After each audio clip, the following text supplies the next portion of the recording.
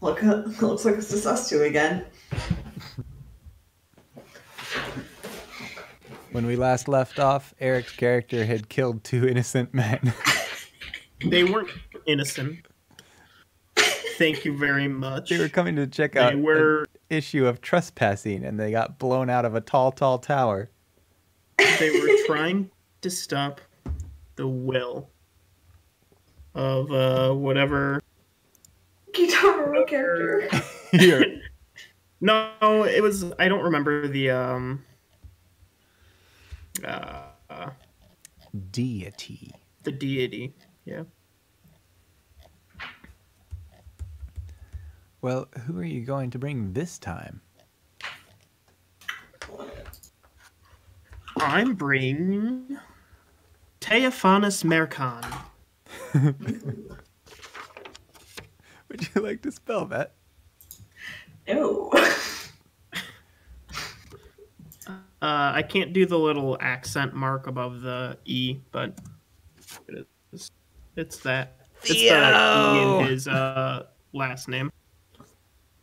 Uh, he is a half elf divine sorcerer. Um, and he's he's just an all around good boy. Um, that uh, that I want to test out before I bring him to Strahd. Uh, apparently, Kyrie is still dead. Whoops. Uh, let me heal her real fast. I once named a horse Theophanes. Okay. Pronounce it again. Yes. Teophanes. Oh, okay.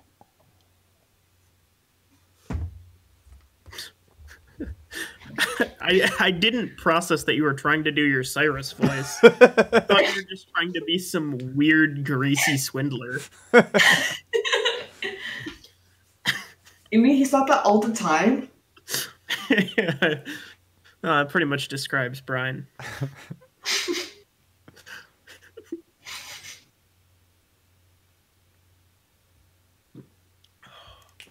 So once you resurrect Kyrene, that's who you're playing?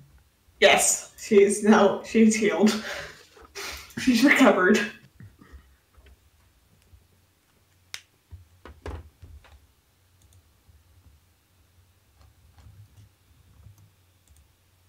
Do, do you need me to spell out her name for you? No, I got it. Thanks, though. Are, are you going to remember the name? yep. Are you sure? I've encountered that one enough. I've got it down. Okay. Chances I remember it. Low. Nice. Listen here, Ramiro. That's going to be my Cyrus impression from now on. I'm just going to say, Theo! Is that all I could say? that was better than what you tried to do before. You're like, I once named a horse Theophanes. that was really good, to buy Eric. a watch? I felt like Dan was standing right next to me.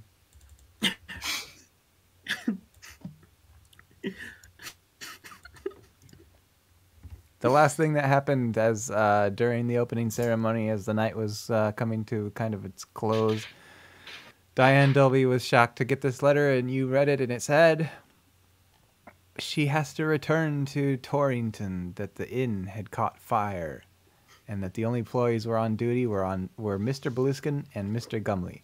Mr. Beluskin was well, but he said they were not able to locate Gumley, and they tried him at home, and they tried finding him, but they couldn't find him.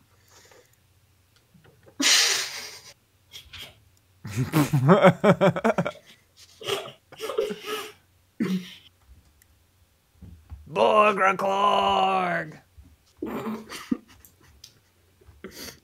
I once named a horse Borgraclorg. Oh my god. Back in Bugbert, my. I'm just gonna stop there.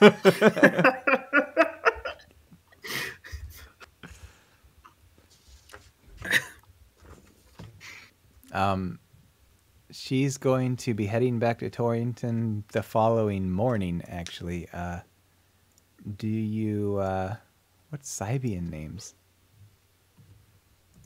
Is that a porn thing?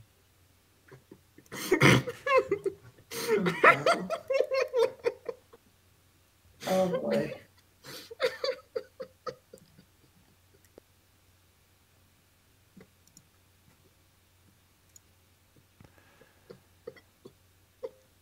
Go on with what you're saying about Miss Dolby. Anyway, she's going back to Torrington. Uh, you guys are welcome to join her and try to figure out what happened to D- Gumley. Okay, in case I haven't Gumley. What? I'm curious about what happened to Gumley. I think that she will.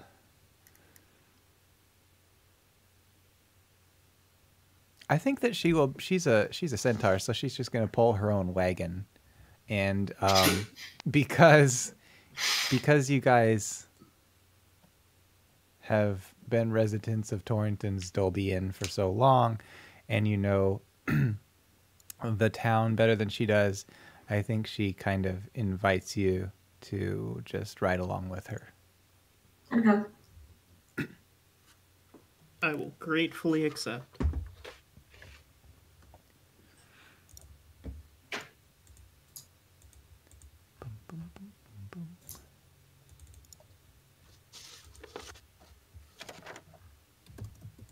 This map of Torrington has been updated. Oh, no, it hasn't. No, no, it's not. Look, the being's fine. It is all a hoax. Hooray! well, anyway. Uh, the uh, the, Dol- the Dolby is in when when you start to approach it, you can already see the there's still kind of a, a, a haze um, of smoke above it. It's just kind of smoldering right now, and um, the whole thing is black for the most part. And as you get closer, you can see that it's all roped off right now and kind of fenced off. Actually, they kind of like put a perimeter of sawhorses around this thing and tape and warnings and all this kind of stuff for not touch it.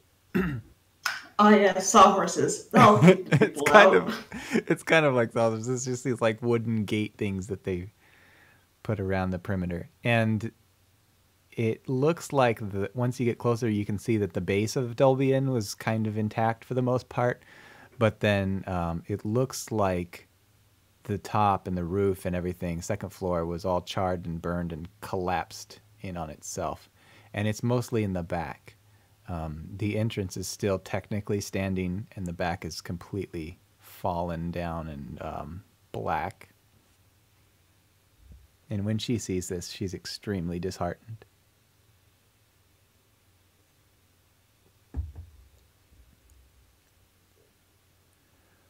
Um, I think she's going to go fetch whoever the authorities are. Um, she's probably going to run down to the Parliament building and. Um... there you go. Thank you. Just trying to help. Oh. Everyone's head canon thanks you.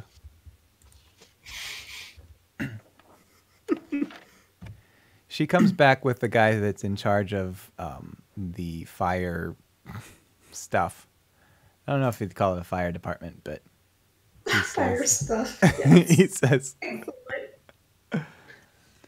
Oh yeah, she went down last night. It was a brutal, uh, a brutal sight. She's been a staple of this town for a long time. It was very sad to see her go.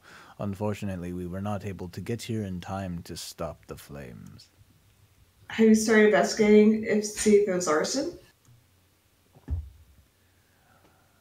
Well, the story as we have it is the two employees were down in the kitchen area.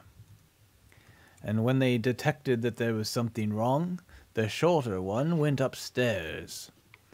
A couple guests came down, they got out of the building, and that's when things collapsed.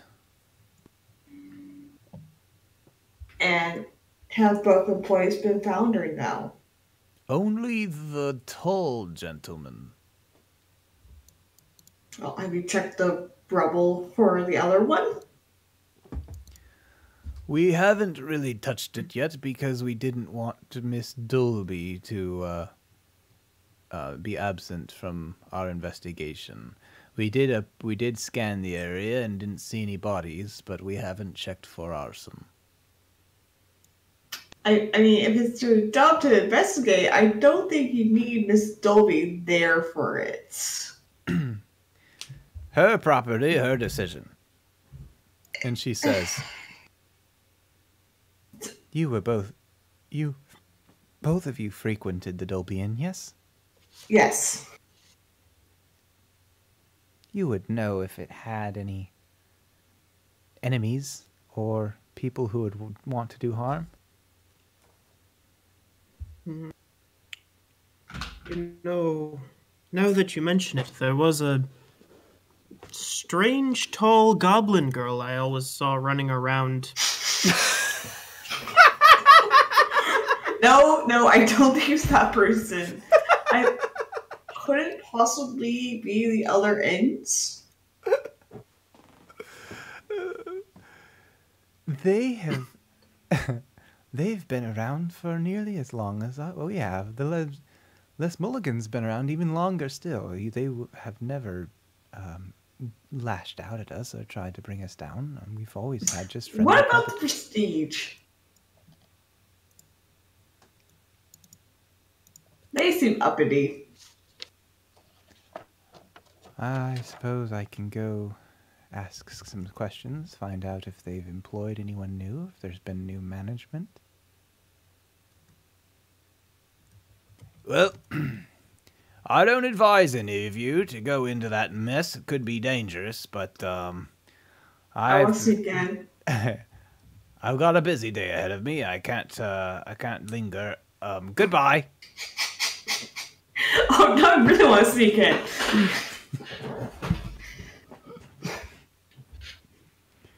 Uh, Listen. Want I have almost finished my vodka, and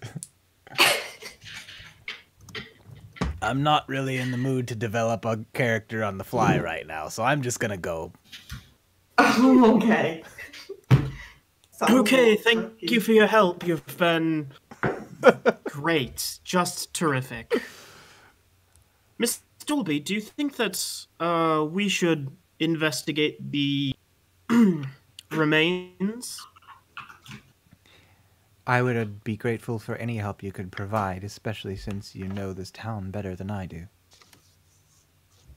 Of course, I'm curious to see what might have caused it and what, uh, where the other person is. She um she kind of draws you out a quick map, jots down an address, and uh, tells you how to reach Daniel Beluskin. She has a book of um, contacts, so she just copies it out of there and hands it to you. Thank you. Uh, I'm going to start the investigation by walking around the Dolby Inn to see if I can find anything uh, around the around the property that looks, uh, you know, like a pile of uh, gas-soaked rags that um, certain people have used before to burn down other establishments.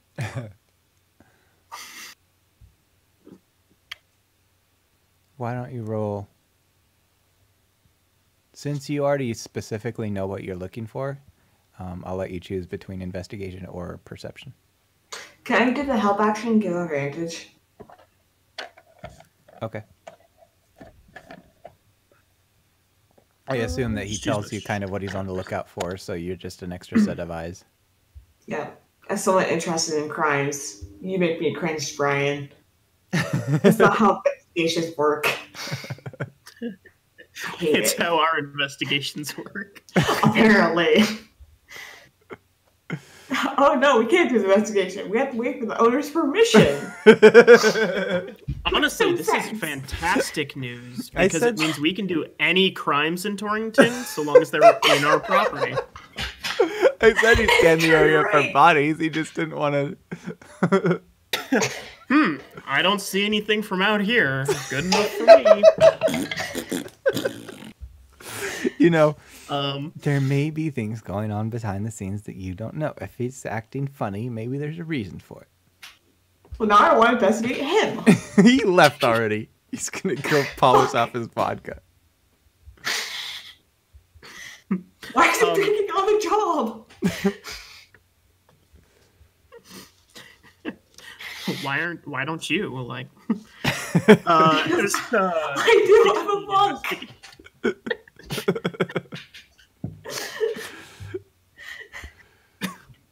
What did you guys roll? I did sixteen. Uh, investigation. Uh, thirteen. What did you mean by help? Are you uh, adding on to his or something? Uh, I was going to give a, uh, allow him advantage because I'm giving him the help action. Uh, help action's a plus two. Oh, is it? Okay. Yeah. You have to roll like a ten or higher, and then you give a. Yeah, I yeah I got thirteen. Perfect. So uh, eighteen total, Brian. You start walking around the Dolby and uh, as I already stated, the front is somewhat intact. kind of kept some of its color, and its doorways are still standing. As you walk around to the back, it looks like everything in the back is collapsed in on itself, and it's completely blackened and charred, or at least the top layer is. And um, as you start kind of scanning the rubble as you walk along the back, one thing that you notice um, since you're specifically looking for this, is that the window frames from the second floor. Um, let me pull up the interior map real quick. Oh, fuck, what is the name?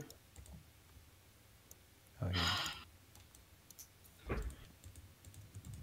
Uh, let me look it up, Eric. Sure. Because it's same as Kyrene.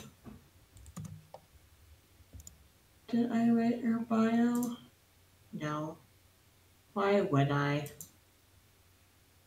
You guys are familiar with the, the layout, and room number two, which is on the left corner in the back, you can see that it has one window that was closed, but then the back frame was open. And then room number four, which is in the middle, you can see that window frame, the panel was open. And then on the opposite corner, room number six, you can see that had a window open. Hmm. Okay, so you said two, three, and six had windows open. And that's what you can see from your perimeter walk, just glancing at this stuff. Okie dokie. but you haven't like dug into it or learned anything more detailed or But there's nothing on like the the outside that looks like it's been tampered with at all. you just see those open windows and um, and, And as i Just said to be you clear, can see they're open, not broken.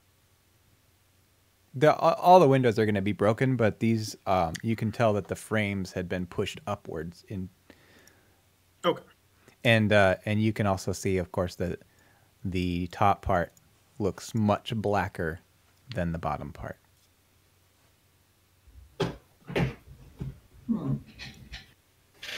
you would surmise that the fire started on the second floor and then it collapsed on itself. Gotcha. So it wasn't kitchen fault. That's good to know. It looks like you could wade through this rubble. Um, you would just have to be careful of broken glass and beams and stuff. Okay. Because um, uh, you'd be climbing my way in then. Yeah, you'll be climbing over some piles of uh, charred rubble and stuff, and so you just want to make sure that you're not going to like fall through. so why don't you guys do dex checks? Oh man. Oh no. Oh, does Kyrene wear armor at all? No. Okay. Oh, Uh, she's a monk. Yeah. Yeah. Uh, dirty twenty. Dex. There. Ooh. Uh, fifteen. Just straight dex, Brian. Um, what's the? Uh, I guess it- Acrobatics. You can if you have a good acrobatics, but otherwise, yeah, straight dex. Uh, I, I don't, but uh, 19 for Um, if I do acrobatics, it's a 23. Okay. Wait. mine was a 19, so 18, 19, 20, 21, 22. Yeah, 23. Yeah, so you're able to uh, very nimbly make your way through this rubble without um, Doing putting too much. shit. yeah, you don't put too much weight on any one spot, and uh, as you start picking through this stuff, I'm going to let you hold on to your investigation checks. You're also able to notice that you can kind of you have to like get some of the uh, the charred roof off and toss it aside and dig through this. And once you do, you're kind of able to see the floor plan of the second floor and how it was laid out. And um, there's a lot of bed springs and old tubs and stuff that came crashing down. But you can uh, you can make out the charred flooring. Um, you can kind of see what did they use in there? I guess it would just be like plywood or something. You can kind of see a scorch marks along it, and as you start getting even more intensely looking, you can find like bits of rags and stuff, and you can basically what you find is that it looks like somebody tied housekeeping towels onto each other to make a rope. And from what hmm. you can tell, it looks like the scorch marks go from one room to the next room to the next room, and it's those three rooms that had the windows open. It was a Hmm. hot, hot fire because this is just these black scorch marks. It all you're gonna guess that they probably fueled it somehow. Can I smell the rags? Yeah. Um, Brian, if I'm understanding this correctly, they they made like uh, ropes to escape using these towels, right? That's what you were describing. It could be, but from what you can gather, it looks like these towels made a chain from one, from room two to room four to room six, all of which had their windows open. Oh, they made a chain. Okay, I I misheard. I thought you said that they were like just tied, um, like in those rooms, not to each other. To each other through the hallway. Oh, well, that's dumb.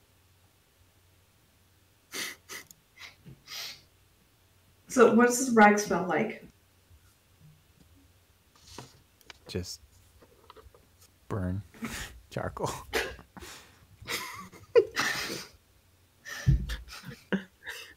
Like the was- finest sandal. if there was any fuel, it was burned off of there. Okay. Um, why don't you guys roll me an additional investigation check? Who knows? Oh no, I got eight. Wait, my. Okay, hold on. My dice tower broke. no, how'd you do that? Um, the front panel came off. No. Oh, Gotta, cause it's all like magnetic. mm. So I just uh, gotta my back panel needs to come off on mine. It's plastic. Um, I got a three. That's about all you're able to find. Um, it for so from what you can gather, it looks like this was arson. It looks like somebody tried to uh, to run a line of probably fueled rags across the hallway and vent it through these open windows for oxygen, and then um, y- there's no you don't find any clear direction of how they escaped or who they were. The only other lead that you can think of is maybe talking to Daniel Beluskin.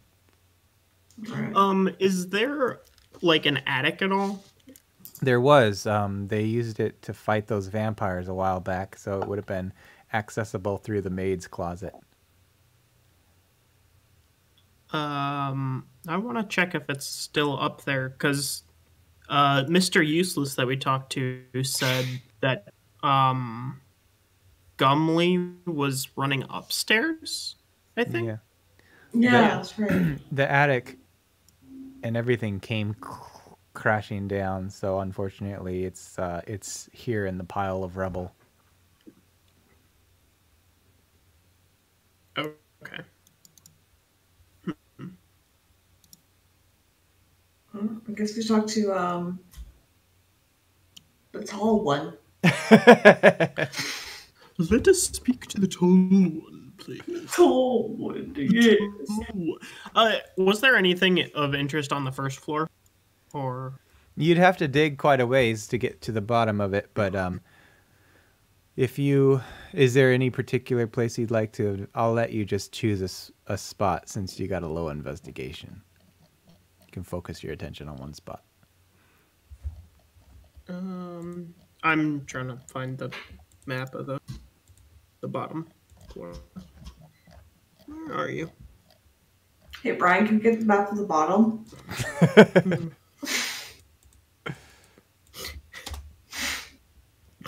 There it is. Thanks, Brian. um, maybe that like uh, the back corner away from the kitchen.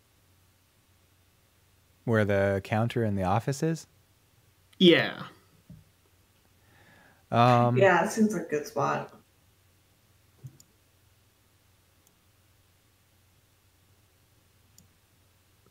so so you're able to find you start search you you clear the rubble and you dig down a ways and you're able to to find some things. Um, one is the uh, the log book that sits on the counter or even underneath the counter sometimes.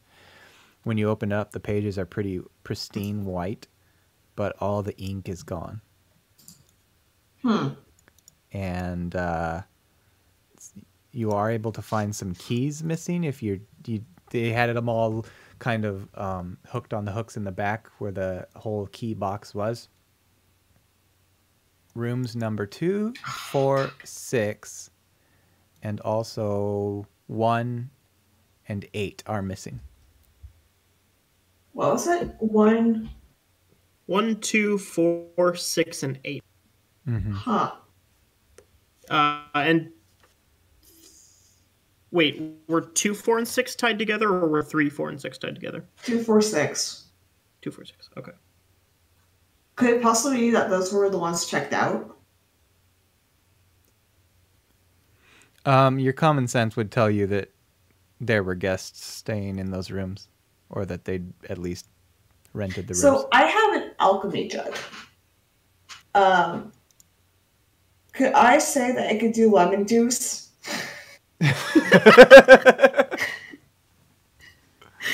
Because I do acid, basic poison, beer, honey, mayonnaise, oil, vinegar, water fresh, water salt, and wine. I do not know. Is this for the ink or something? Yes. Um. so, tell me more about this. What's this supposed to do? Is it supposed to reveal invisible ink or something? You've never done Yeah. this? I've never done this. What the fuck, Brian? I was It's an homeschooled. old This was not. thing. this was You- not one of our projects. You lightly coat a page in lemon juice and you hold it up to heat, and it'll reveal invisible ink. Okay. Um. You can try it, but it's not going to work when you do because you get the sense that the ink has been uh, incinerated by the fire. But the pages are fine. Yeah. It's That's not how ink works, Brian. God damn Brian. I listen. I actually don't. homeschool's showing. I actually don't don't know know. how paper works. I The actually. ink melted off. They I don't. I don't know the physics of this. All I know is when my house burned down, we opened up the books and the pages were pristine, but all the words were gone, and it freaked me out. Brian, Brian, those aren't books. Those are like Necronomicons. those are those are fucking like phylacteries. You need to delete those, dude. they were school textbooks. You need You need to stop burning your house down and start burning these books.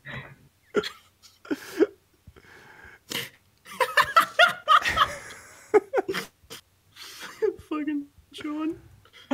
Um, Okay, so somehow this ink melted off of the paper. Sure. Um. Right. That's the alchemy jug.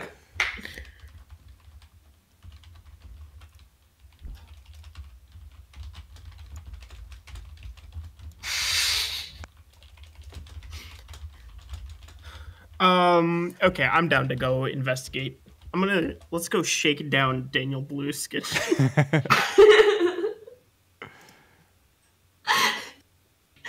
Oh, they're just getting Sean bald. he knows what he did. His home, he knew his homeschool was showing. I made up the story about my house burning down and finding the books. We know, so your Brian. house didn't actually burn down. it was all a hoax for this one moment. just, I thought I might need it later, so I made up the story. Wow, Brian. you're like, uh, yeah, my my wife just left me for a firefighter, and I lived under a bridge, and my house burned down. Um. Huh, weird. There's gonna be all these moments in our brand new space podcast where I explain away these weird, stupid sci-fi shit that I make up about planets and stuff based on my house burning down. That sounds like you. I love that. So uh, you go knock on Daniel Beluskin's door, and it takes a while for him to answer.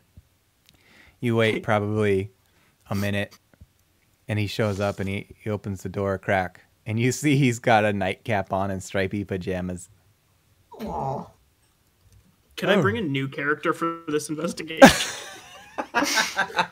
This is a Dolby Inn. You can do whatever you want. I don't care. Teophane, Te- Teophanes is not um, a mean person, but I sure want to bully this guy. You would. Okay. Um. um. I'm gonna. Oh.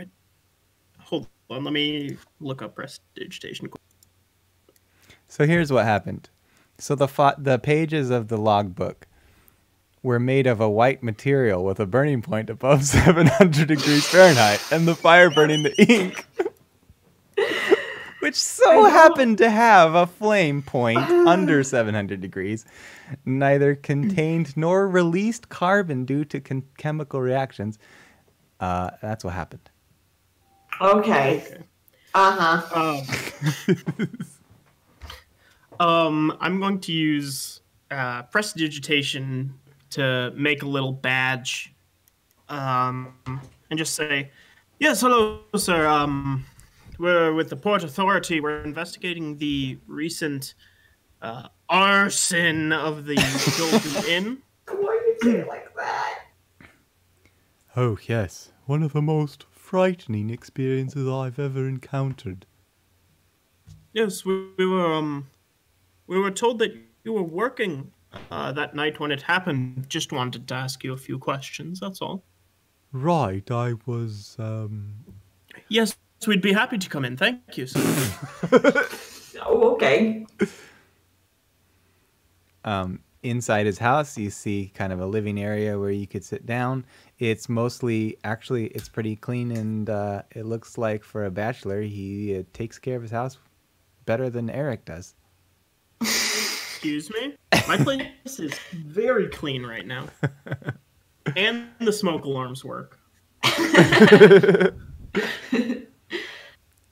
It was about three hours into my shift. We were expecting uh, late check-ins, and so Mr. Gumley stayed for longer to help out. Is there any reason why Mr. Gumley would go upstairs when there's a fire? Well, we heard the crackle of flames, and he went up to make sure everything was all right, and he told me that he would inform the guests if there was an emergency. After he'd been up just a short while, two of the rooms came running down in a panic. I let them out the front door and escorted them onto the park across the street, and I didn't see Mr. Gumley again after that. I hmm. tried to go in and call for him, but by that time the entire upstairs was completely engulfed in flames. Do you remember which rooms ran out uh, with you? Hmm. Difficult to say because they checked in during the day and I'm the night auditor. But as far as I could recall, And he stinks for a bit. And he says, whenever I start my shift, I try to get a lay of the land and see what I'm in for for the night. I do remember two of the rooms had different names on them. Three of the rooms were under the same name, like one party had checked in. Do you remember what keys were missing when you clocked in for your shift? Hmm. It would have been. I recall the three names being in an odd pattern. They took two of the corner rooms and one in the center. Would have been two, four, and six. And those weren't the ones that ran out with you. Hmm. I'm afraid that I was too distracted to ask who they were. Well, but I'm sorry. Uh, go on. I can't say who they were. I don't know.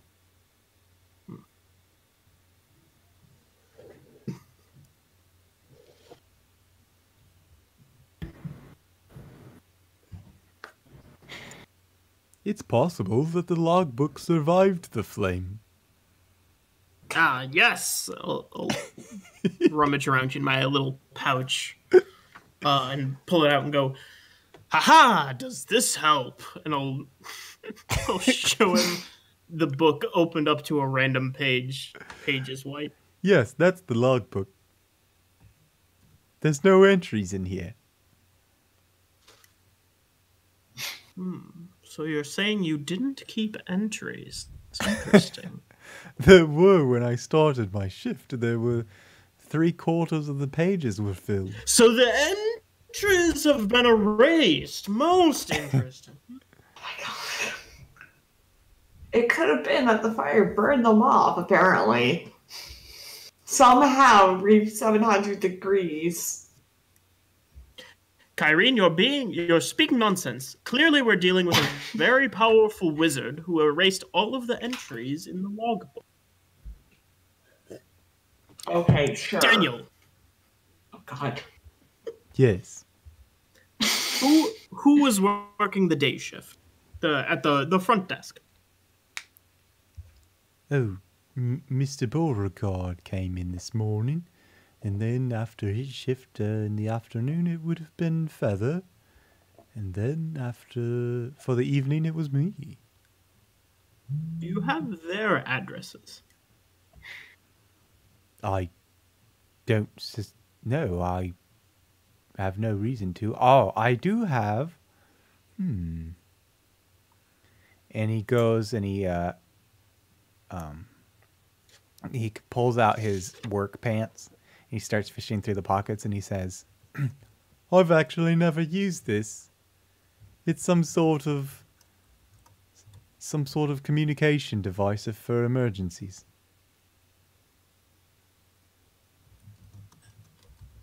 It's uh, it's just like a weird looking stone that he pulls out of his pocket.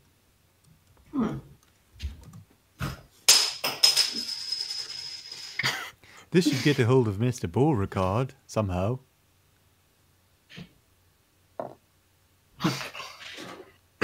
No, Eric, we're not killing him. Jesus Christ, we can't kill everyone. I think you're wrong there. I think we very well could. Can't keep killing every person who's a piece of shit. I think you're wrong there. yeah, I'll I'll lean over to Kyrene and say, uh, Casey or um, Feather may very well remember who checked in in those three rooms that uh, that were under one name. Uh, we may need to talk to them in the morning, That sounds like a good idea. and also we may need to kill No. No. We don't want to leave witnesses. No.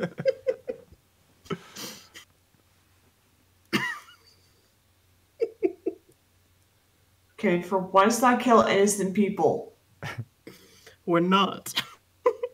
We're killing witnesses. That's killing innocent people.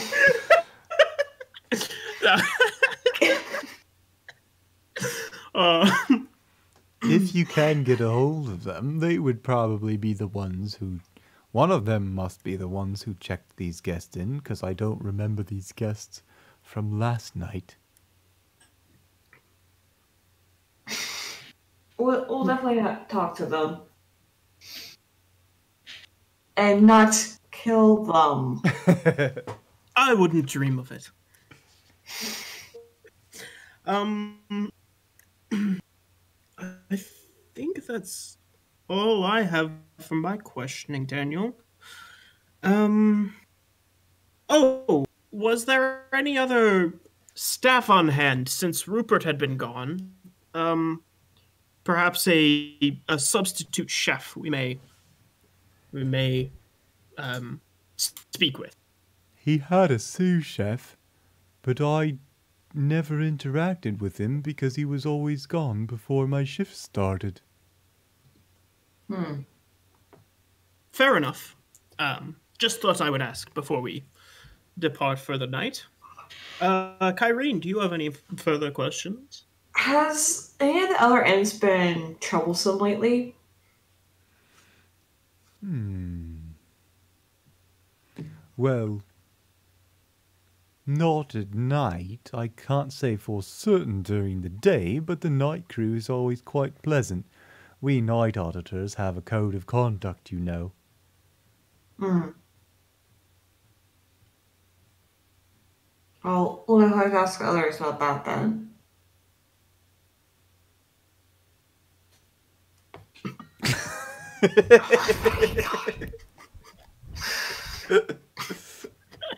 Well, uh, thank you for your help, Daniel. I believe that's all we have for you uh, at this moment.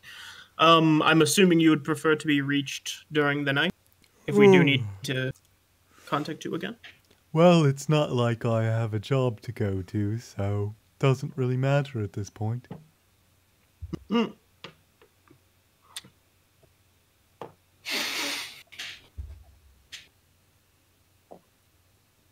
Well, sure, I'll come bother you at some point to take your uh, fire alarms. yes.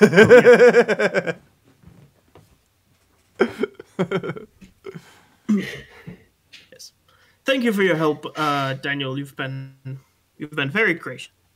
he nods and shows you to the door. Um, this stone is a pretty typical stone of far speech, but you just, uh, I think you guys would know how to work it. I don't know. Kyrene's been up in the mountains for so long. I was assuming it was a sending stone. Or sending stone, yes. I don't know the difference. Well, Whatever the name is. um, um, I'll I'll suggest to Kyrene that we reconvene in the morning, Okay. and um, I say that maybe just to kind of get a feel for the other two inns, one of us should stay at one of one of us should stay at the Prestige, the other should stay at uh, Les Mulligans. Uh, I'll set the prestige. Jolly good. All burned. Stay at uh, Les Mulligans. Do no, no burning, no killing. Um, yeah, I'll go to Les Mulligans. Okay.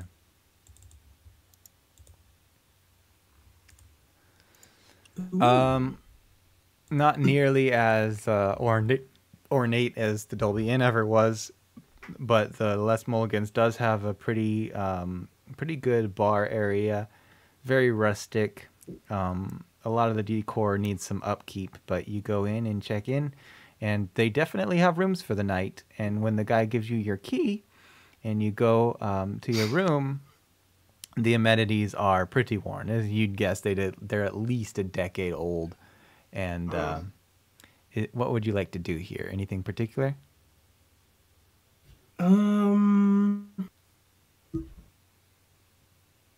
For now, I'm just gonna sleep. Okay. The bed has a couple lumpy spots where the springs are pretty worn. In general, it's um not it's not it doesn't have very good soundproofing, so you can see hear all the people at the bar just gallivanting and shouting and playing their games and drinking. And as for the prestige, The Prestige. Ooh.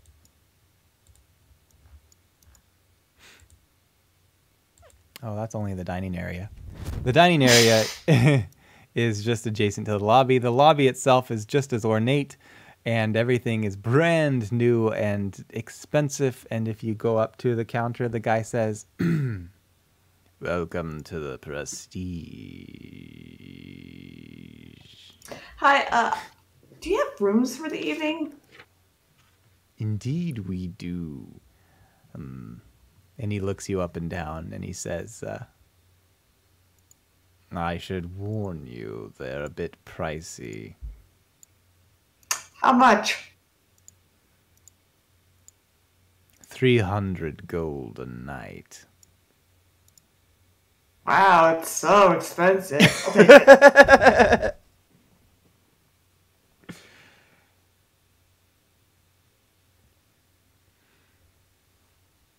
He gives you, he checks you in and he gives you a key. Um, is there anything particular you, you would like to do with the prestige? Um, hmm. I kind of want to look around, like hang on the dining area a bit, and like just watch him. I am a little suspect of him. he, um, did you check in at night? What's Yes. Okay. He uh, he he has some similarities to Daniel Beluskin. Um, he's not the same race or anything, but he does seem kind of like he enjoys spending time to himself, and he doesn't. He's not super sociable. Um, he seems pretty self-entertaining. Uh, you can see some books stacked up, like he brought them in. They're they're not um. They're more like leisure books. You you would surmise he has plans to read those through the night to keep himself occupied. In the in the dining area, as you walk through, you see some faces that you definitely recognize. Some of which are um, politicians, uh, people who maybe like the chief, what is a equivalent of the chief of police would be there. Um, this is generally a hangout for people who are of a higher status, so some of them are iconic. Hmm.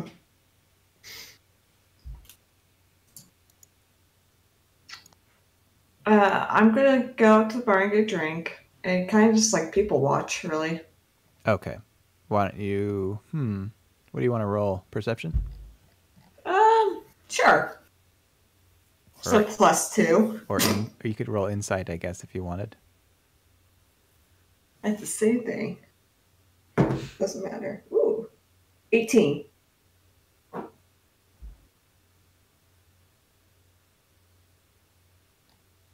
Ooh, I know who you see. You see, you see Jamet Ingood. She is sitting at the table, and she was one of the people who was at the uh, the courtroom during the kangaroo court for the railroad. Oh my god. Oh no. what, what's she up to? Let me look at these real quick. Hold on a second.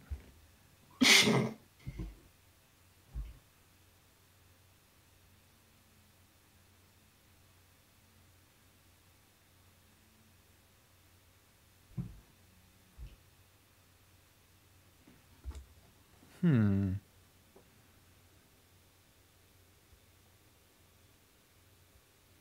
Why don't you roll an additional insight? 12. Just seeing her makes you wonder if these two events are connected. Makes She- sense. You don't recognize the people that she's. Well, I, actually, I'll let you roll a history check to see if you recognize the people she's talking to. Um, Mystery. That's 16.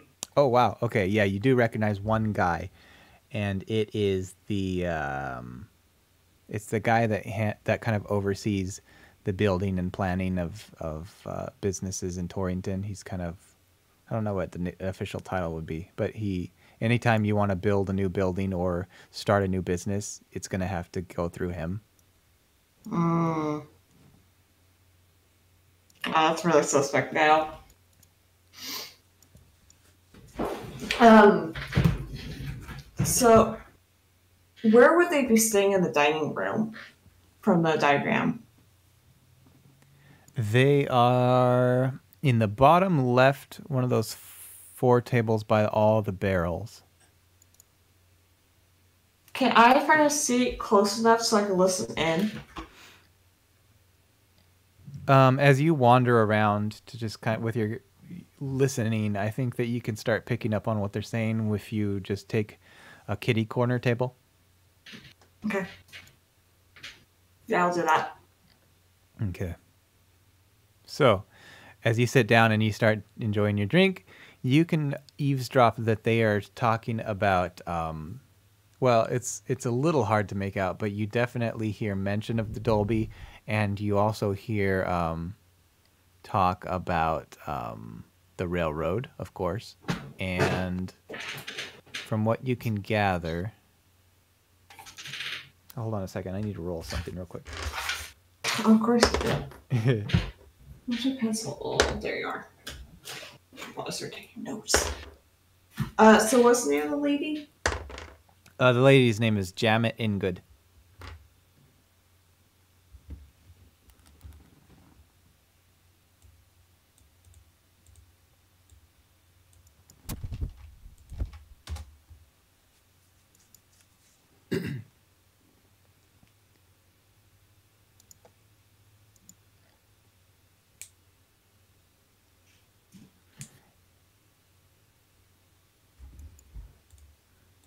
Oh, I was so close to spelling her name correctly. You remember her name listed on the uh, the note that you pulled from the dude, the dead dude on the dock, the mysterious man. Ooh. Ooh. I'm actually taking notes this time. Um, Um. And I think that you hear you're listening in, and you you hear the uh, conversation abruptly stop. And if you Uh-oh. if you glance over, you see a couple of them are looking at you.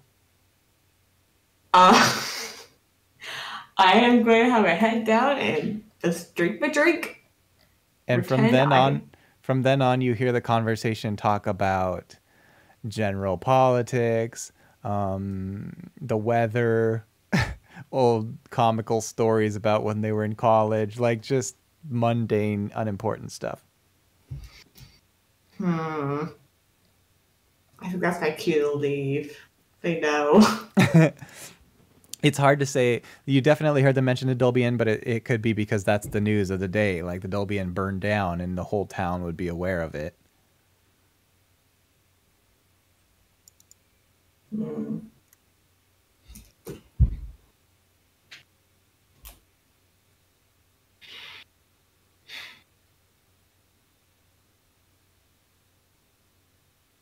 Can I think if I could just like disappear?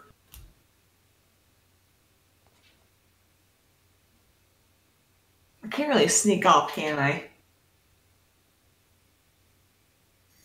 Um, it would depend on what your abilities are and how well you roll. I think. Well, I have a plus eight to stealth. But Um, so I'll so so you were at the table closest to the bar.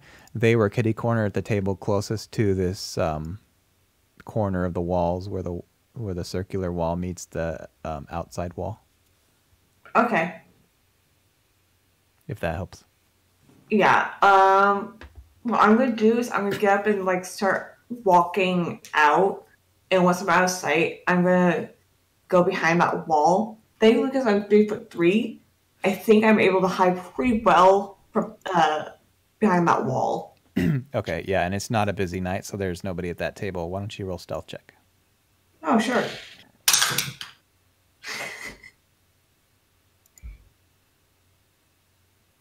Uh, twenty-seven. you can see their eyes or even feel their eyes following you.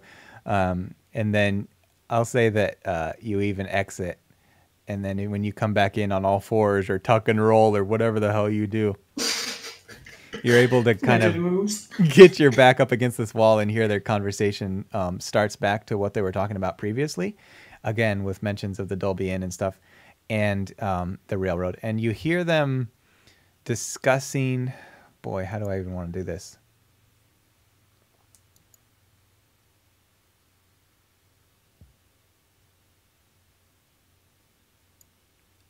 You don't know what became of the people from this court? And she says, I've no idea. It was one of the most bizarre experiences I've ever come across. All we know is that they frequented the Dolby Inn. And he says, Well, we know that their headquarters are taken care of, but we don't know what became of them. We're going to have to start getting names and putting people on these um, hmm, troublemakers. I don't even know what to call them, she says. All I remember is they refer to themselves as the Port Authority, and she he says, Port Authority? Torrington doesn't have a port authority. Um, and the conversation goes on like this. The only clues that you pick up is that they probably, if there was arson, they probably had something to do with it. But shortly after that, they uh, start gathering their things, and you hear him say, I'll let them know what's going on, but I think that we should put people on these Port Authority members, follow them around and figure out who they are and what they want. And she says, "We've known that they've um, they've had eyes on our our plans. That's what the very fact that the sewer line exploded when we had our trade routes through there." He says, "I know." Um, and basically, what you gather is they were shipping things through the sewers that exploded when you guys did the um, vampire adventure with uh fucking what's his name todd von Zurovich. somebody blew up the somebody blew up that so they couldn't travel through there. Eric. What? We know it was you blowing shit up again. I, I don't think so. Maybe. and you have a feeling that now they whoever it was you know it wasn't your group but they have a, they suspect it was probably the port authority since you guys opposed them so hard on the railroad and uh, they're going to try and figure out who you are and they're going to try and um, put spies on you Okay. They pick up their drinks down what's left uh, leave a check and they walk out All right. Uh, once I leave, I am going to head to bed. wake up the next morning God, it's terrible. The next morning, if you uh, when you guys go to the Dolby Inn, you're gonna find Diane there with the fire chief guy again. Well, I have some bad news. Oh, did you find anything out last night? Well, just it's about- arson. We were just about to start an investigation of our own. How No, you- no, it's it's arson. How can you be sure? Well, I got listened to a very interesting conversation last night. Um, but we did some investigating and we found evidence of arson. Um, there was. Go ahead. I'm sorry. Conversation. Yes, it was between Jim, uh, Jim and Good. I had Jeanette's for some reason on my list, and a building permit person. I thought about Jeanette, but it wasn't sexual enough. It, Ryan. Um, yeah, there. Let's see, let me put it. can you roll uh can you roll perception real quick? Yeah. Oh shoot, that's not good. Uh. Perception eight. Where are you, Eric? Theo. Teo. Thank you. Theo. Oh, Theo. Oh no, don't do that. oh, Um, I will be with them. Okay, then you roll perception too. I Captain. Yeah, no, that's a good. Oh, uh, 10 actually. Um, as soon as she mentions the name Jamet Ingood, you notice this fire inspector's eyes grow wide as she continues talking.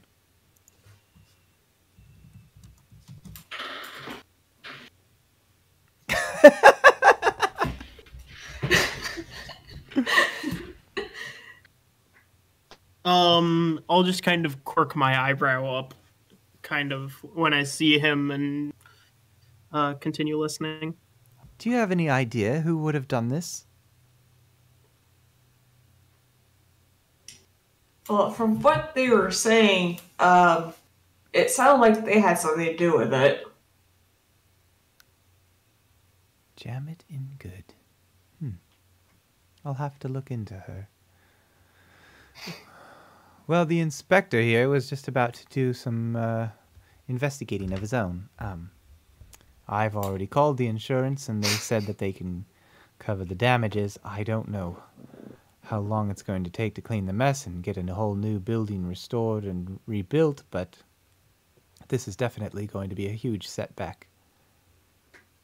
It really is. I hope you get back soon. Were you able to find anything about Mr. Gumley? Not yet. We were going to go talk to the other two employees that were working that day. Other Yes, Miss uh, Feather and Casey. Curry? Uh, Casey Bo- Curry Beauregard. I have their information somewhere. She opens up her uh, contacts and copies down, hands you another paper. Sorry, that's my phone calling. I'm trying to kill my phone apparently. Sorry, my phone fell. Yes, thank you. Thank you very much.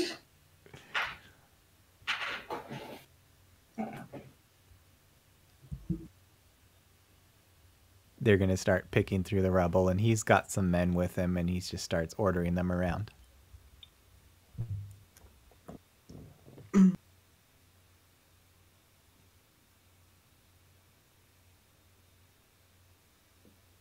Uh, I'm down to go and try and find uh, Curry, I guess.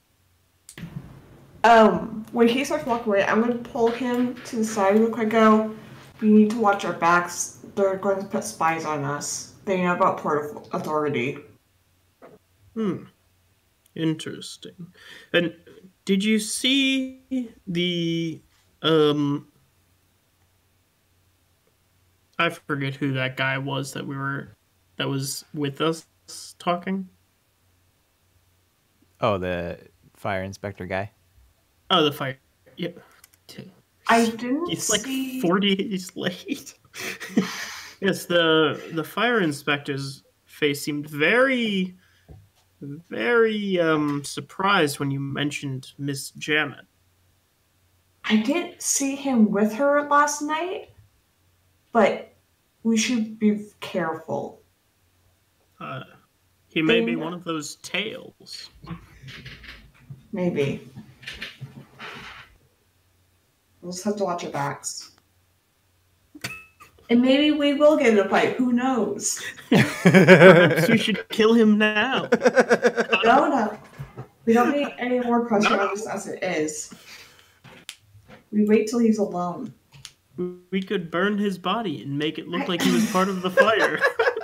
It, Damn it. No. That's not Actually, how I, it works. uh, I'm fine with actually going to go talk to Curry though.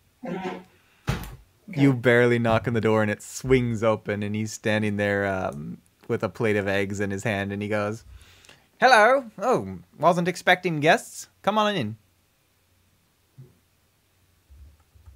I'll walk in. I'll walk in as well. What can I do you for?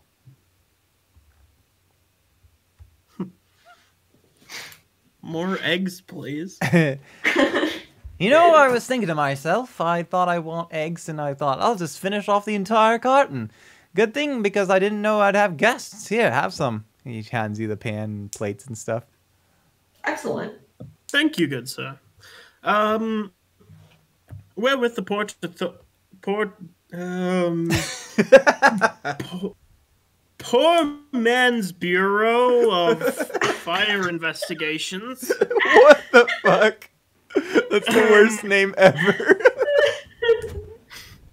Where, Very um, subtle. Subtle. I, I, very obviously wink at Kyrene and say, uh, "We had a few questions about the the fire the other day at the inn." yes, of course, tragic accident. I feel terrible. Indeed, indeed. Um, yeah. Um, primarily, uh, the day of the accident, uh, Mister Beluskin had said that you were working the mornings. Is that correct? Indeed. No, I always work the mornings. I prefer that shift. Bit of a morning person, I am. Also, everybody That- checks in in the strange. afternoons, and I don't like dealing with the guests, so. You're Um, not the one we need to talk to. Got it. yes. You had no people check in during your shift then. Hmm. What day was that? Hmm. You know, there was one fellow. Tuesday. An unusual Oh. occasion. There was one fellow. He wanted an early morning check-in. Mhm. And he wanted three rooms. Apparently, he was going to have some family stay with him or some such. I don't know. I don't ask questions. I just got him his rooms. Name was, uh, hmm. No Thorn. You're, you're going to to speak up, sir. I can't understand mumbling.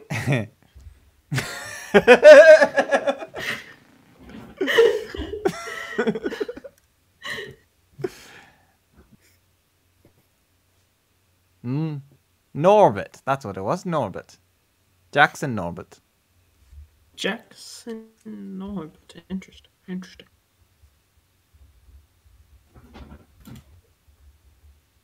Do you remember anything about this Norbert fellow?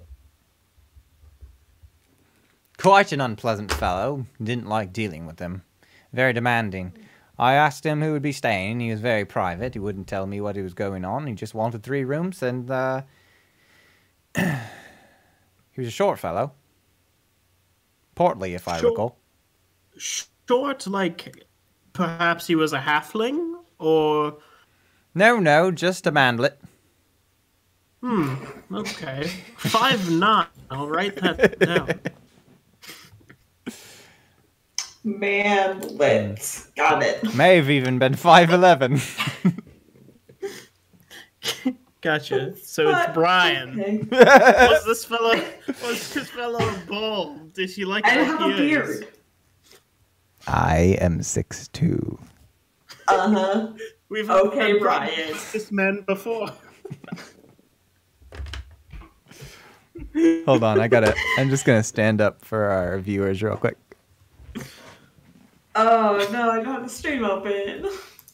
Hi, me in the future. yeah, right.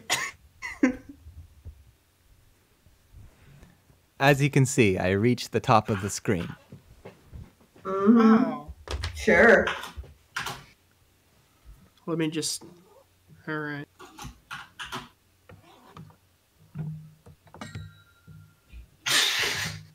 That? Um, my cord hit uh my desk leg, and it went swing. You know, there was Uh-huh. another odd thing about this fellow. He only had one bag of luggage, but he had he uh, demanded all three keys.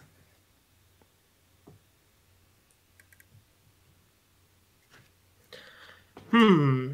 Well, is that that odd if he was requesting three rooms? I mean, Oftentimes, if, I- people check in and get multiple rooms, they just assume that their partners, whoever else is going to be in the party, would come in and get their keys and check in. But he took all three of them himself. That is a little weird. perhaps he was meeting his family later on. But I'll. When I say this, I give Kyrene a, a knowing look, like, um, Hmm. Maybe. I give him a very obvious wink.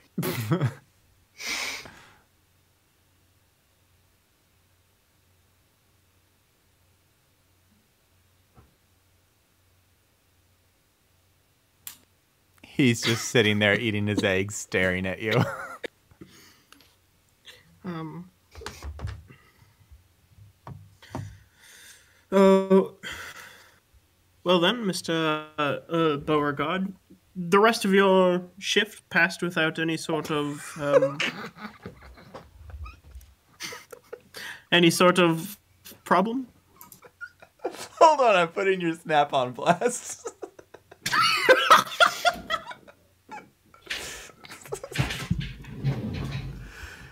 yes, yes, and the rest of my shift went as normal. Um, nothing unusual about it, really.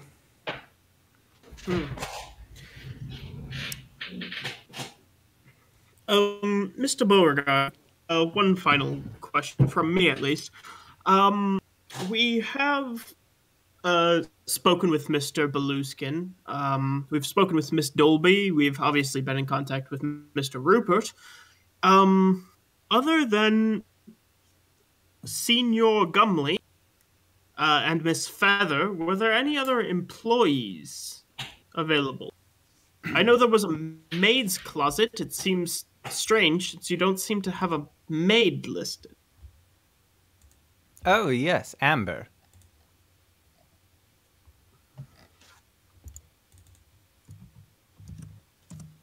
Mm. Mm. mm. I see. Um, do you have her contact information? I do. Normally, I keep it at the inn. Hmm. Where would I put it in the house? He starts rummaging through uh, papers near the kitchen, and then he goes into his room, and finally he comes out and he says, "Ah, I have it here." And he hands it to you, and uh, it's just got her name and address written down, but I mean, I don't know. Depends on Ah, how well you know the town. Terribly, terribly help you. T- ah, terribly helpful. Thank you, sir. Um, that's all I have to ask you about, Kyrene. I don't have any questions. Excellent. Um, thank you for the uh, meal, sir. Quite appreciated. The eggs are very good. Very fluffy. He nods, but he doesn't get up to see you to the door or anything. Oh, this is the perfect time to rob him. Let's quick go upstairs. No.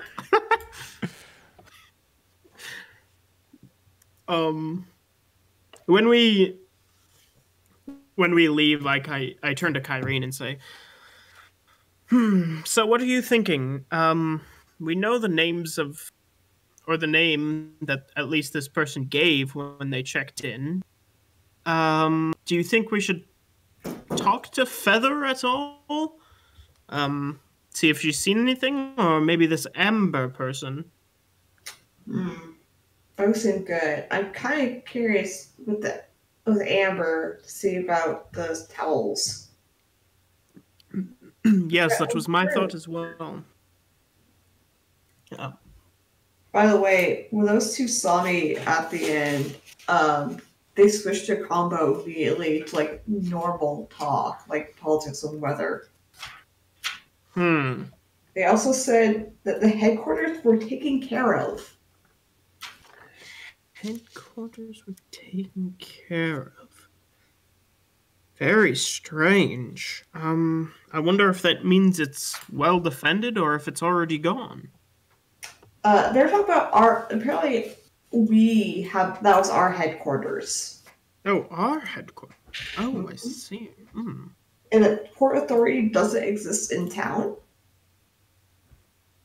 True. And they know about the sewers exploding. I'm guessing that they think the Dolby Inn was our headquarters.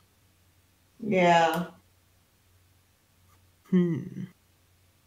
Well, perhaps we can throw a bit of a reopening party for Miss uh, Dolby once it reopens, Oh, for a- sure. as a thanks for. and I'll start speaking really loudly at this point for for being the official headquarters of the Port Authority, and I I shoot Kyrene away. God damn it. So what we need more is a target on our back. uh, under my breath, then I, I kind of go, I'm, I'm trying to lure them out, see if they might make a move now. Um, Oh. worst case scenario, uh, we already had targets on our heads. Um, best case, we might sniff further down this rabbit trail, as it were. Apparently, they're going to try to figure out more about us, too. Like names and all that. Good luck finding out names. I've got Right? 400,000 characters. I'm from a monastery. I don't go out much. Kyrene, no last name. Oh, she kind of has a last name, but it's not actually her last name. Kyrene, last name. Interesting. It's uh, Kyrene Shugshu. Whoa! I never knew this. Shunkshu? Shugshu. Like because she had a um nursemaid, I think that's the name of it, who um basically raised her. Uh, she was a uh, Mima Shugshu. Aw, Meemaw. And she always got called uh Little Shugshu, and it pissed her off every single time. So she was a rebellious little child. That's why her still so high. all this time, never knew. Yep. I know I should never figured out her actual last name. Her parents are still alive, Wow. but To be fair, Brian, I'll bet you can't name my character's first name right now. Dual pod. I bet the Joel Pod. that was three weeks ago, Brian. Two weeks ago, Brian. I just assume I assume every single one of your characters must be one of the jewel pods. if it's not, if it's not Dicky butt stuff, it's, it's a jewel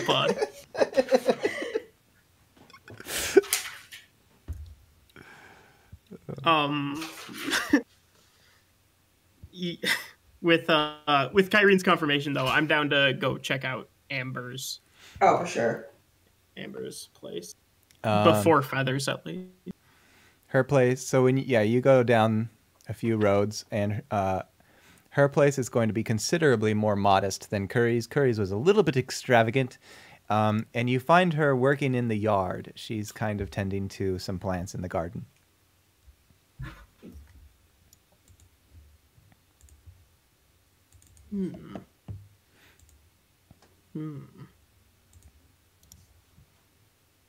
She does not look happy to see you. Hot water. That's not surprising. Hello there. What is it? Um, Amber, uh, hot hot water. Is that right?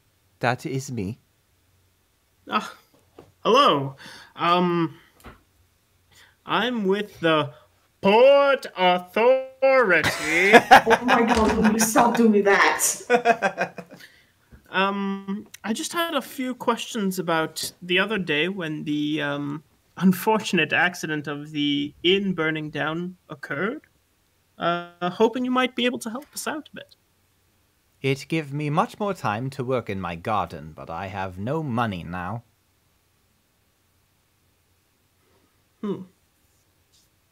Um.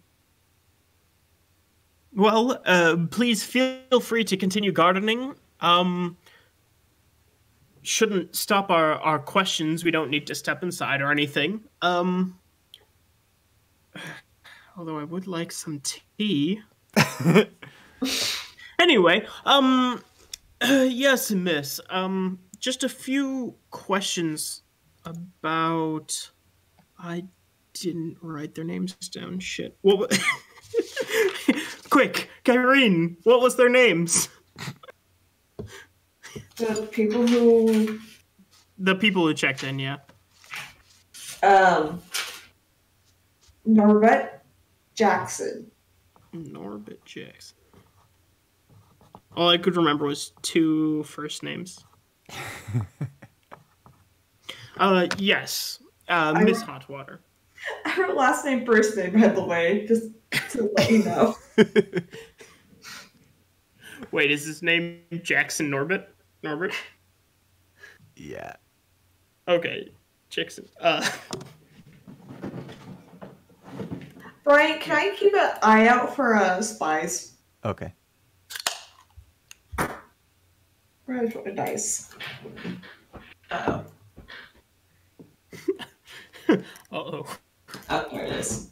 Actually, I would also like to be keeping an eye out since I keep calling attention to her. 18.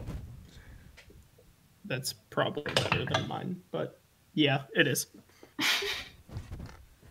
Um, you definitely see people walking by, but you don't notice anybody that uh, is lingering. Really, with 18? You don't see anybody. Okay.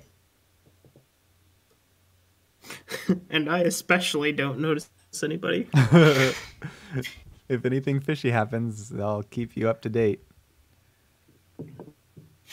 But uh yeah, I'll be like, um yes, uh the the night of the fire, um we we've spoken with Mr. Beluskin and Mr. Beauregard already.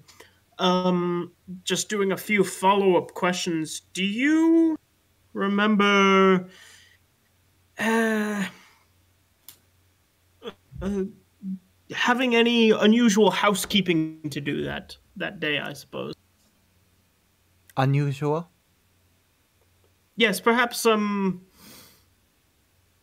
I don't know, um a severe spill or perhaps um some sort of oh, I don't know, um like special requests from guests uh for rooms that they checked in.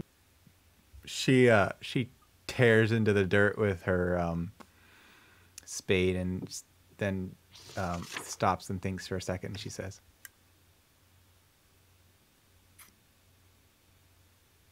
"There was an irritating man. Is he short and portly? Yes, Hey! Yeah. Ooh, good thing she put pants on. It's my roommate, it's fine. Um My door's closed anyways. yes, about this short round. He came to me three times. From every time, he would have a different mm, uh, facial hair and say that he needed more towels for his room. And he say one room, then another room, then another room, acting with different accents. And he think I don't know. It's the same man every time. And you're quite certain this was a different man each time. Or I'm sorry, quite certain this was the same man each time, not different man. He no even change his clothes. All he do is put on new facial hair. Sounds like a bad spy.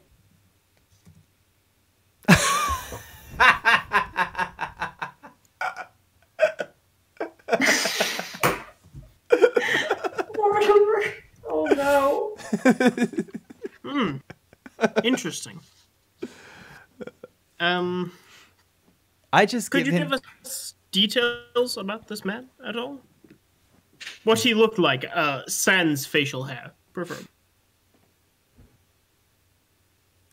I almost, or at least irregarding that. I almost look him in the eyes, and he's very fat, and he wore nice clothes, like he was on. He come from a job, a very important, and he.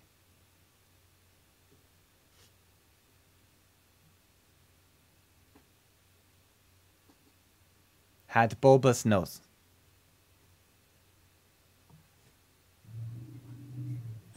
bit reddish or purple, like he drink a lot.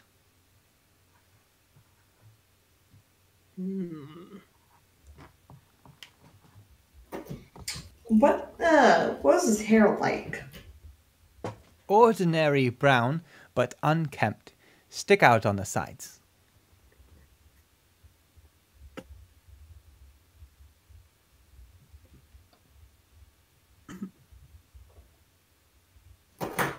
Hmm. And for the facial hair what was that like? First, curly mustache, then pointy beard, and then clean shaven.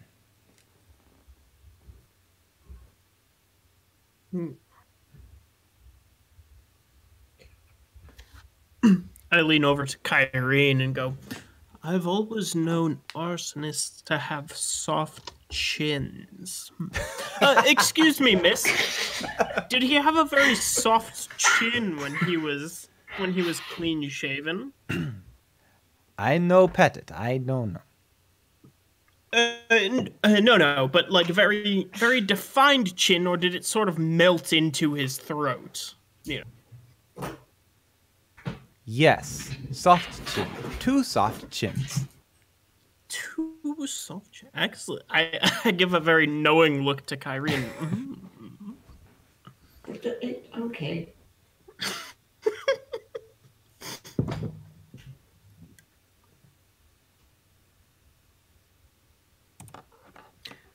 Um, I'll I'll pull Kyrene off to the side a little bit and go. Well, I think that was much more helpful than I expected. Um, do you have any further questions for this um surly woman? Not I could think of. Yes, I'm also out of questions for her. Mm, hmm. Do you think we should start the search for this strange, soft chinned man, or should we go and talk to Feather as well?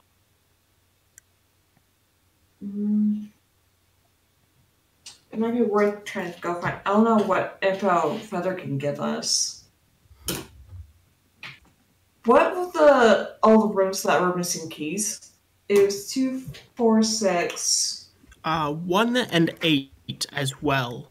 However, I believe Mr. Beauregard had mentioned that at the very least one had run out with him. I believe eight had it as well, although I don't remember exactly.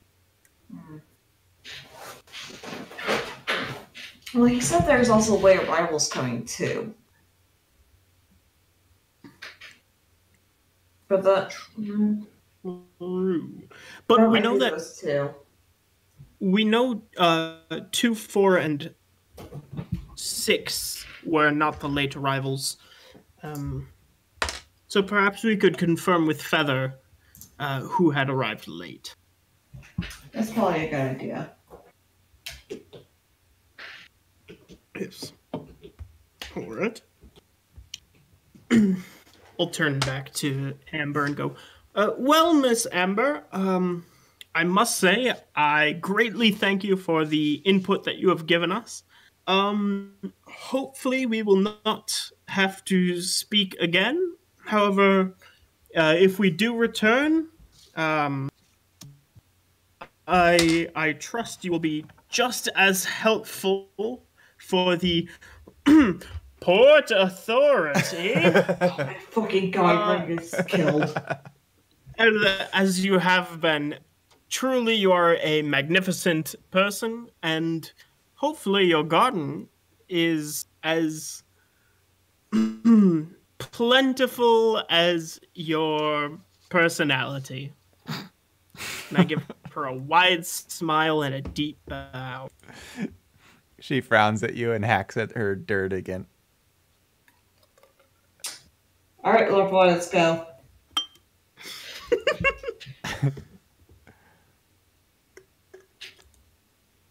We depart to Miss Feather, Feather, Feather, Feather.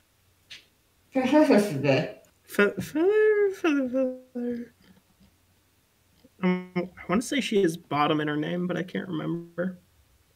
Oh no, uh, Feather Highborn. What's her face? yeah. What's her face? What's her name? When you knock on her door, it takes a long time for her to answer. And you hear kind of a thump from upstairs and then a thump, thump, thump from coming downstairs. And then finally the door opens and you see her standing in a probably not entirely wholesome nightgown. And she's got a night eyes, whatever those nightcap over her eyes um, pushed up to her forehead. Sleeping mask? Yeah, sleeping mask. Yes, yes, yes. And she says, uh, "Oh, "What is it? Why are you here?" You do understand it's morning, right? Yes, I can tell by the blinding sun. Were you drinking? Only between the hours of 7 p.m. and 4 a.m. Hmm. Prime drinking hours, miss. Um, perhaps we could have in co- uh, enter and uh, have a bit of the hair of the dog. She just she doesn't even respond. She just opens the door all the way and walks into her house and she goes to the kitchen and pops the cork and starts pouring herself a drink. Um, the whole time you can see she's kind of fidgeting and uh, with her hands and everything, and she uh, gets out two more glasses and slides them over to you and slides the bottle and then just starts chugging hers. I assume this is regarding the fire. Yes.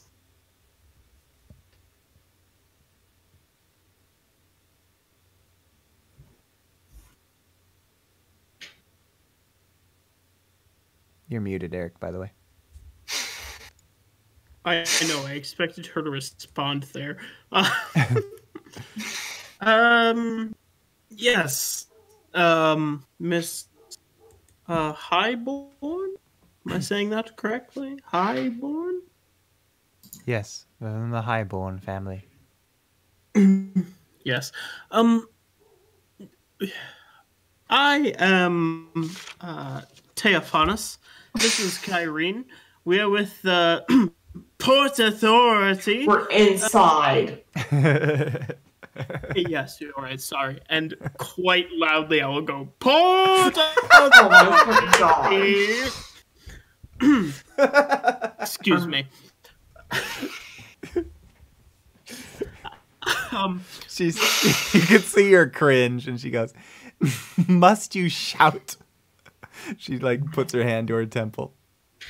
I agree. Shouting is not best right now. I kind of lean on one hand and go, "Uh, "Shout? No, of course not. Uh, no need for that. Um, just a few questions for you, if you don't mind. Um, we we have spoken with um, Mr. Beauregard and Beluskin, as well as the housekeeper. Um, amber hot water. Um, just wanted to confirm a few uh, facts with you. Um, was there anyone who checked in during your shift? She sighs and takes another drink. Then she taps her hand and she says, Yes, I had two check ins that day. Do you remember what rooms they were? Uh, hmm. Yes. Where were they? Our first floor, our first room, and you know, now that I think of it, it was the very first and the very last. One and eight. Okay. Interesting.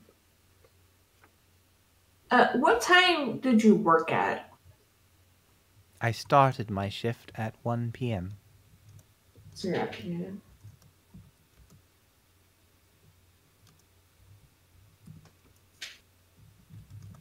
Hmm. Okay.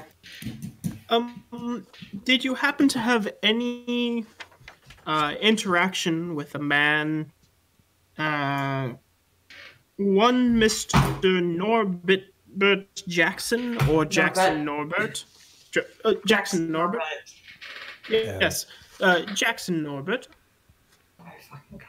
Yes, unseemly fellow. The Norbert party had three rooms, if I recall. He kept coming down for amenities and insisting that he needed more drinks and um, billed it to his room, but of course, he never paid, being that the inn burned down.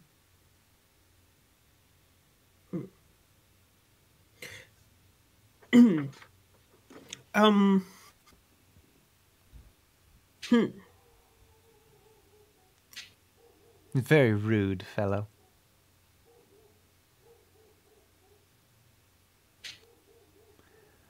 You sound very rude. He droned on about how the Prestige was a much better hotel, and I told him if you like it better, you may as well just stay there. But he insisted that this is where he wanted his rooms, and he just wanted, he expected the service that they give at the Prestige, and I told him, well, they pay more at the Prestige, but he, he wouldn't listen.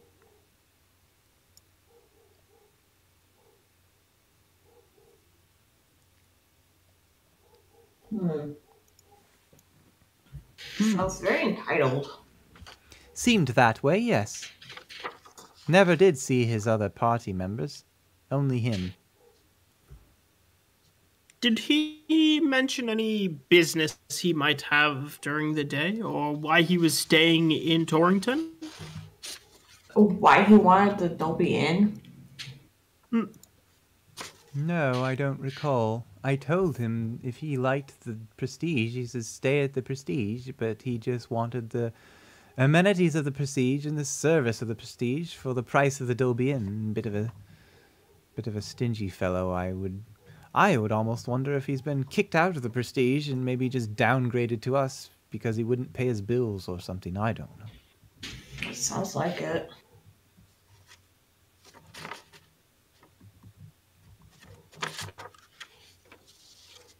Hmm.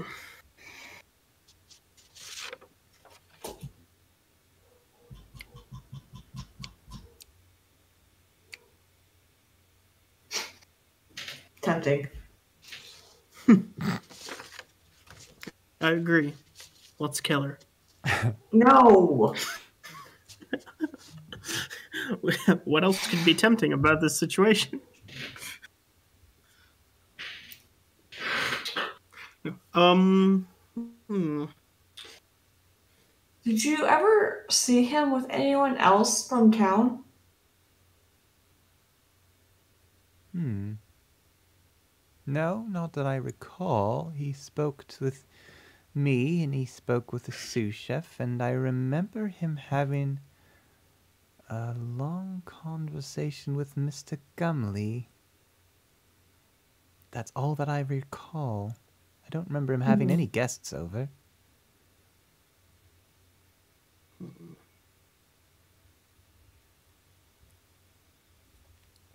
Do you remember anything about what uh, he and Mr. Gumley were speaking about? Did you overhear anything? No, I was busy with my crosswords. I do remember the conversation got a bit heated at one point, and I had just assumed it was because he was a very rude person. I didn't blame Gumley one bit. Do you know the name of the sous chef? Oh, uh. Mr. Uh, Jimmy, Jimmy. oh, Jimmy John. Sue. Sue? Unusual name to hear of a boy named Sue, but that's what his Oh my name. fucking god, Brian. he sounds like a real son of a bitch. Do you know where we can... Do you know where we may be able to contact him? Well, hmm, no. Chef Rupert would know. Oh wait, yes, I do have. I forgot. I'm the concierge. I have everyone's contact information. How convenient. oh, weird. She pulls out a But you huge. forgot that. she pulls out a massive phone book s- size binder and plops it on the counter. Sorry, I had a late night last night. She flips it up and uh, she says, I'll, s- I'll start refilling her drink while she she jots down his name and address. Okay.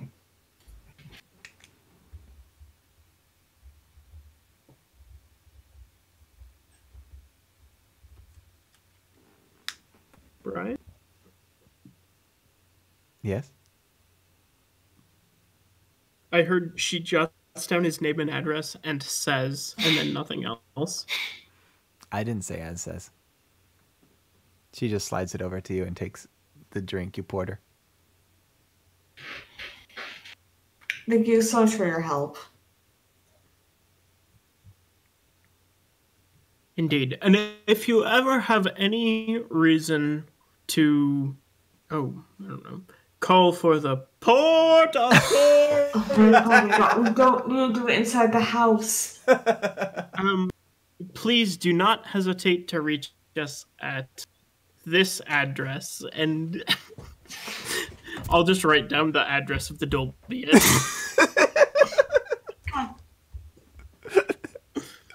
This is our sort of informal headquarters. I don't think she even looks at it. She just takes the paper and takes another drink and stares at you. Very well then. We'll leave you with uh, your drink. Come on, Theo.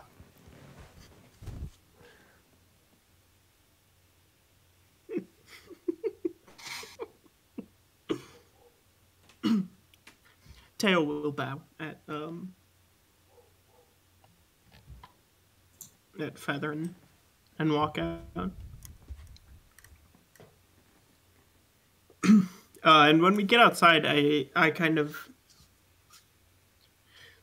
lean over Kyrene and say, um, it's starting to seem more and more as if Mr. Gumley had a hand in all this, don't you suppose? Yeah, it does seem like that. I'm very curious about the sous chef too. Yeah, yes, indeed. Mm, I, wa- I wonder if anyone has checked where Mr. Gumley lives. The uh, fire inspectors of this town seem rather lackluster in their investigations. Yeah, I noticed that too. And they seem keen that he died in the fire. Yes, they seemed very insistent about that, which, considering there is no body, um, seems a bit odd to me. Um, Do you think we should go have a visit? I think we should. If nothing else, um, we can always stop by there on the way to, uh, to Miss What's Her Nuts. The sous chef? Yes, Sue? Sue. Sue, what's her nuts? A boy named Sue?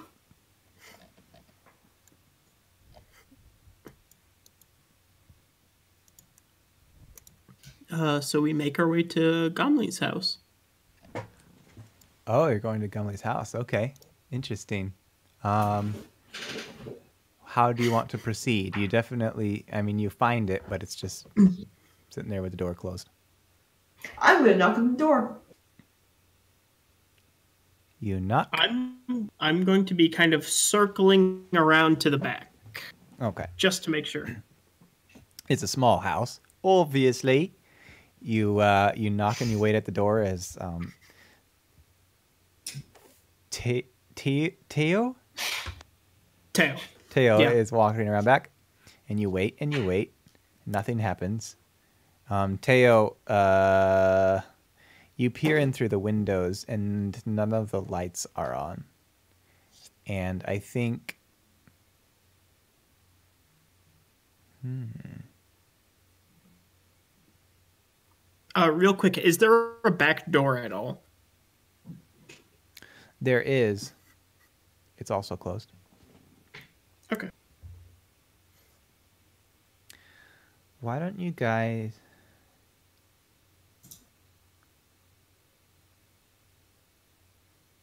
Why don't you guys roll perceptions? So much perception. Uh I don't know where my d20s went. oh. I got a four. I don't see shit. I really. Oh wait, no. Okay, I know where one of my d20s went.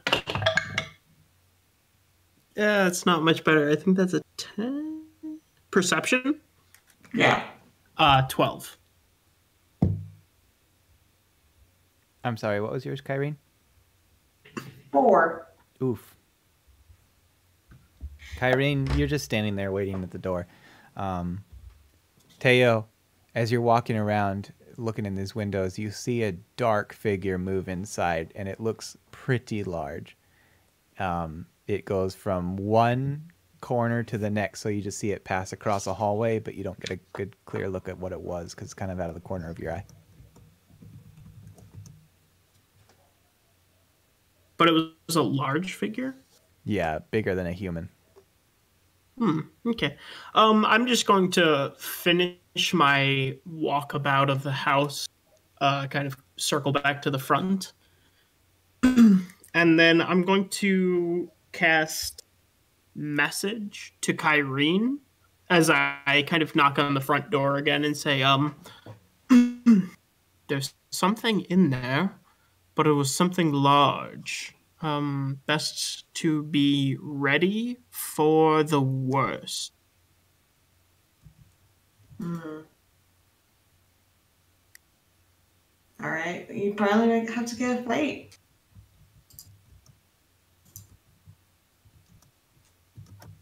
Uh, I'm going to ready myself for an attack. Um, I will start to knock again and go.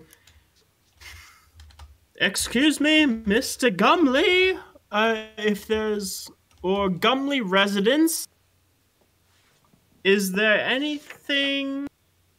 Uh, if anyone is home, um, would you please open your door? We have some questions. It's the port authority. You hear a tremendous thunk against the door. Um,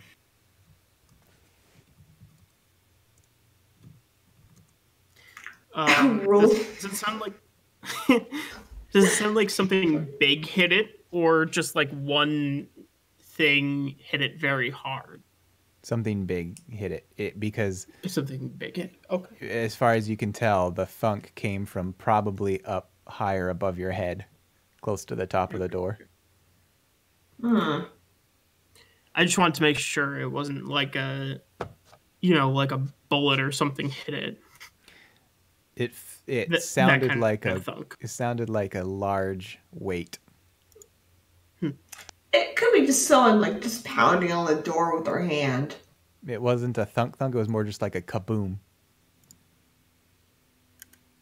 Um, I am going to tap Kyrene on the shoulder and cast haste, as well as twin spelling it onto myself,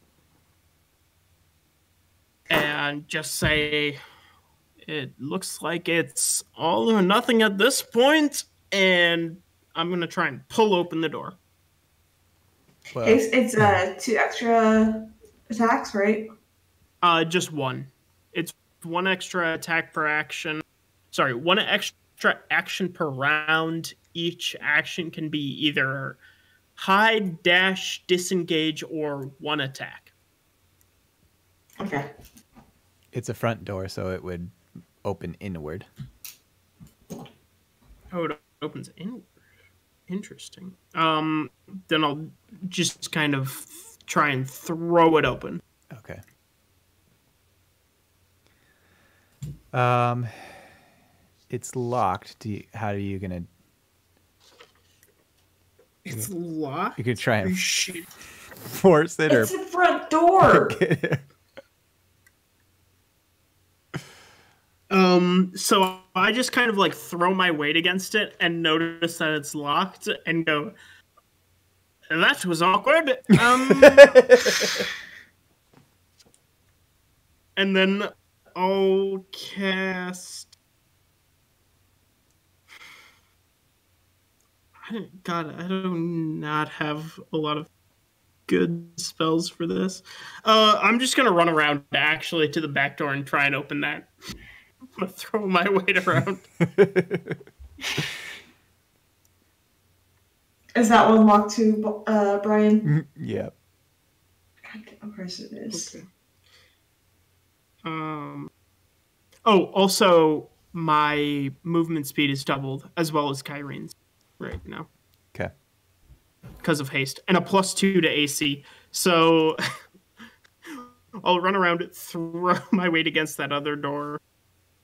Um. And then if that's locked as well, I'll sprint around to the front with a dash action and go through the window. Dive right in. Yeah. Here we go. Um, yeah, unless unless Kyrene beats me to it, I will dive through the window first. Uh, I'll dive through the other window. Okay. Okay. We're both diving through a window. Can you guys roll history checks real quick?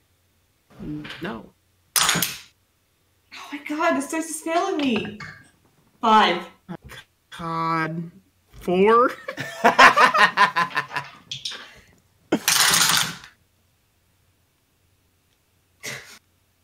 Oh, I actually rolled a d12 that time. Whoops.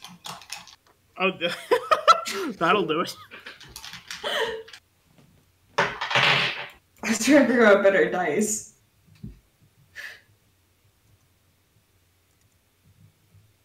Uh.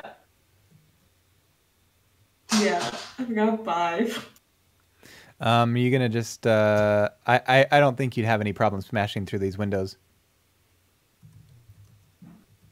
Are you just Okay. gonna go right through and, or what? Like, are you throwing something through them and then waiting to see what happens? Are you diving right through them, or what are you doing? Um. Hmm. And and also, who smashes theirs? Do you smash them at different times or same time? I think it'd be. Both kind of diving through. Oh, I was going to start trying with my elbow because I have my robe on, so that'll protect me from the glass. And then I'll dive through. Okay, so Kyrene, Kyrene is the smarter one of us who smashes the window. I just dive through the window. okay, why don't you do dex uh, uh, acrobatics? Dirty 20. Not as good. Ten. Dirty. Um, So uh, yeah, so Kyrene goes through nimbly, and she just uh, has her cloak to protect her, and she falls on the other side of this window in the room. Um, Theo, Teo, you uh, definitely you you go in just as gracefully. You land inside the room, and you look down, and there's a huge gash on your arm that's bleeding. you don't you don't take any actual damage, but you are uh, bleeding all over this carpet. Yeah. And uh, Ew. Kyrene, you come to your standing position and you look up, and through the door of this room, you see the giant head of a pteranodon appear and go. Ah, fuck. I think that's where we'll end it. God damn it, you ended there.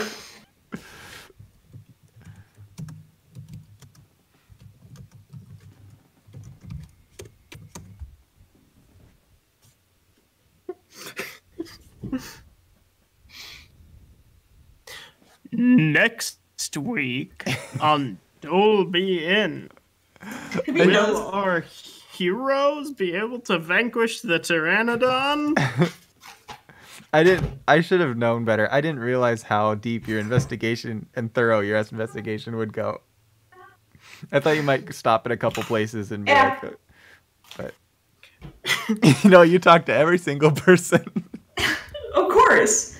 Brian, I love looking into crimes. I, I know how to go through, investigate crime. I love the idea that Brian was just like, all right, for this entire episode, they'll check out one place and then say fuck it and go somewhere else. And then I'll have to figure something else out. Also, have you noticed how much we've gotten done between the two of us without the others? right? You guys were super thorough. There was no uh there was no uh what was his name? No Mortimer, to Mortimer get in the Flesh. God. I swear, it hinders us so much sometimes. or Cliff Clifton. God.